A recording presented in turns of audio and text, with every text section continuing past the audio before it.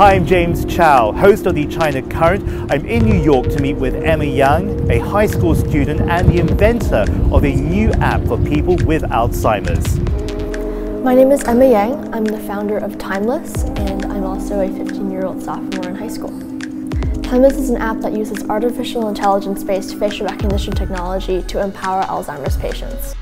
Alzheimer's is a neurodegenerative disease that affects millions of people around the world and causes people to lose their memories.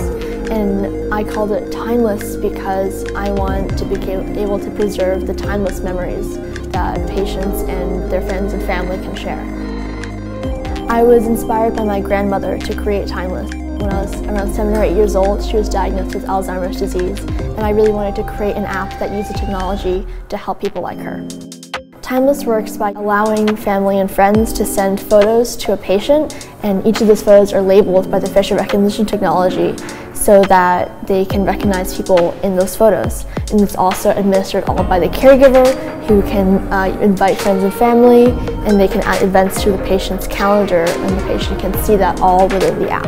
Innovation means uh, for me to take emerging technologies and technologies that are at the forefront of their field and helping to put them into the right applications. I would like Timeless to help to connect people around the world with their family members who have Alzheimer's and to be able to empower them to still live their daily lives as they would without Alzheimer's using technology. My mom uses Frasier, the TV show, to test my app and represent all the different people in the Timeless Circle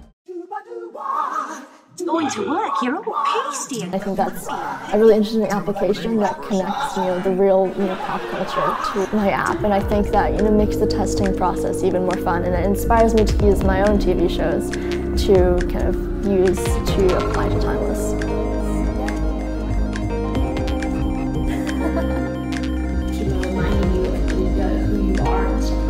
I'm a teenager and I love to share my passions with my friends.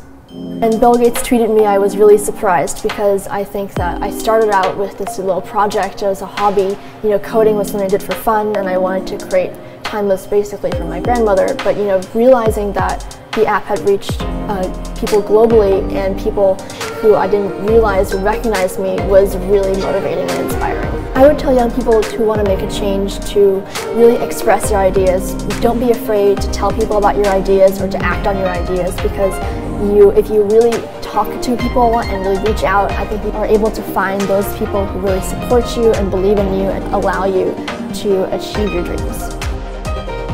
I really want to become a top AI expert in the field and you know, use technology to help the people around me. I think our world needs to humanize technology because you know we talk about AI making us lose jobs or taking things away from people, but I think that if we use AI and technology and emerging technologies to bring people together and you know connect them instead of taking them away would really help to create a better world.